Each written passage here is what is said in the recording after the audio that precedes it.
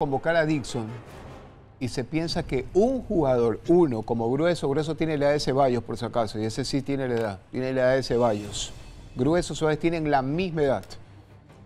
Si usted convoca a Grueso y se piensa que Grueso o Méndez o Cifuentes van a cubrir ellos solitos 7 mil metros cuadrados que es la cancha, error porque en la selección se necesitan un 5 u un 8 que sean abarcativos. ¿Abarcativos qué significa?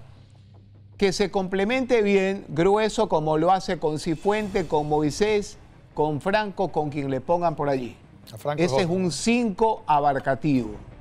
Si el técnico ve que Dixon, que a veces no lo juegan de 5, sino que lo tiran como interior defensivo, es un 5 abarcativo, pueden preguntarle al profesor, los que duden, que es un abarcativo, aquel que cuando no esté en la circulación de la pelota es un compensador, está ahí alerta, alerta, cazando, cazando la presa. Llega el objeto y va a ayudar a la espalda del compañero a achicar o es esa clase de jugador, porque Sánchez utiliza esa clase de 5 u 8 que se ponen detrás de la pelota. Detrás de la Un compañero está marcando y él se pone detrás de la pelota. Significa que el que viene en contra de nuestro arco no puede tirar la pelota hacia atrás.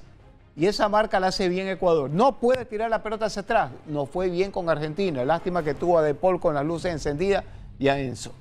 Pero esa marca la hace Dixon. Yo con todo respeto, un buen amigo que es Dixon, todo lo que quiera. Esa es la pregunta. Por ahí entremos.